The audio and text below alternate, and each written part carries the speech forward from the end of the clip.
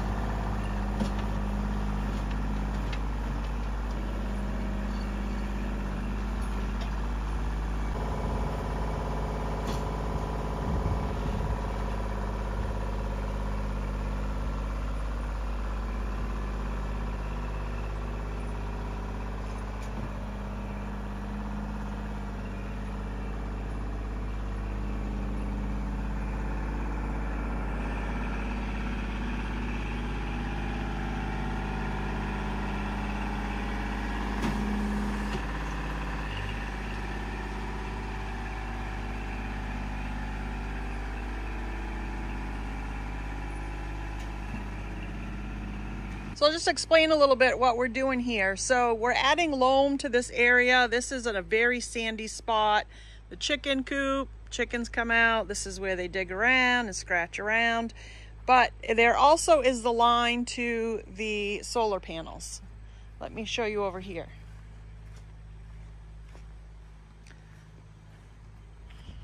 So there's a box right there behind that, or conduit, I guess going into the house, which is where our solar panel uh, cords and, and uh, stuff are. And it goes down through here and underground all the way here and goes up to that conduit and that box right there, which is where our solar panels are. Good solar day today. Uh, so because the chickens scratch here and dig, we plow this in the winter time. We come through and plow. It makes it easier for us to get to the coop, to move around, to get rid of um, snow because we plow it through and we go push it down into the woods further when we get a lot of snow.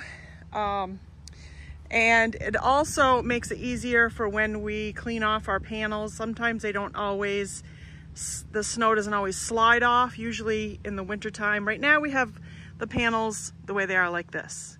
In the wintertime we have them up a little bit more so that the snow will shed a little bit easier and so that we can get a better uh, sun because the sun is lower in the sky in the wintertime. So we change the panel uh, angle. So the snow usually falls off, it doesn't always. So uh, we have to come out with a big long brush that we have on an extension and just clean them off real quick. And then by the time the sun gets around, it melts it and it's good to go. So it makes it easier to plow through here and all that. So we end up plowing off some of the sand and I noticed one day that the chickens were digging around here and I could see the conduit that the um, that was coming from the box here underneath the ground. So we've we've plowed off and the chickens have scratched off enough so we get down to the conduit. We didn't want that. We want to make sure it's nice and covered. We don't want it to break. Uh, you know, the last thing we want is water to get in there and things to to happen. So we're just adding a little bit of loam. See if we can get some grass in here maybe. Uh, it also, there's runoff when we get heavy, heavy rains. There's runoff down through here. Maybe we can uh, kind of disperse it so it doesn't look like a little riverbed that's dried up when it's done raining. You can probably see a little bit here um, that I'm talking about. And it drains off down in the garden, which is fine, but it is pulling off a lot of the sand that we need to cover up the the conduit here. So we're just as a precaution, we just bought oh, a few, two or three lo uh, loads, yards, I guess, of loam. And so Scott's just bringing it up with a Kubota and uh, just spreading it out as best he can. We'll probably take a rake and just kind of fix some of these spots here. And yeah, that's basically what we're doing with this. Not super exciting, but there's stuff on the homestead that has to be done. Um, and especially when we live off grid, we want to make sure that our lines that are going into the house from the panels, everything's on the up and up and, and um, just is the way it's supposed to be so that we don't run into any trouble. I, that would be awful in the middle of the winter to have exposed wires and conduit and something get broken or wires get pulled out or something. So we're just going to put a nice thick layer of this loam down and hopefully we'll get some grass to grow if the chickens will leave it. But they probably won't because they're little stinkers. Here he comes with another load.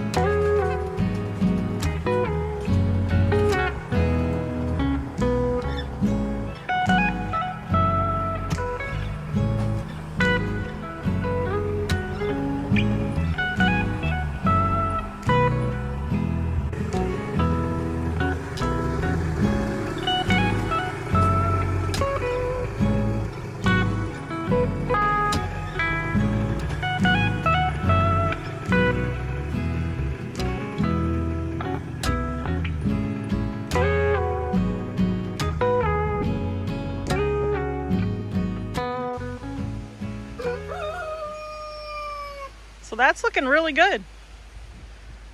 Looking really good. He's putting it on thick in the middle there. He's going to get another load. We're getting some awesome solar power today. Filling up those batteries. And I don't know how long this beautiful dirt's gonna stay here. The chickens will have it all mixed in, but hopefully it helps with keeping it on top of that conduit.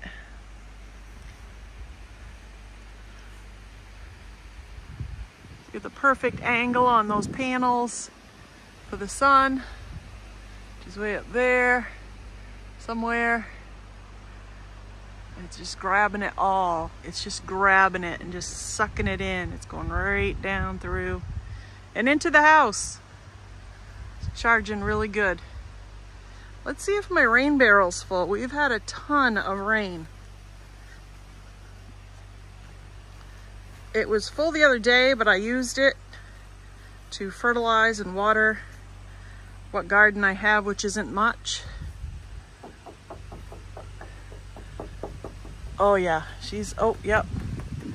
She's at the top. It was splashing over the side. Yeah, oh, she's full. She's so full. She's so full. After a country buffet. She's full of, full as if you went to a country buffet. That's awesome. And that works great. You just have a hose run down to the garden. Not a hell of a lot of pressure, but enough so we can fill up like a uh, watering can and, and water and it works. Here he comes with another load.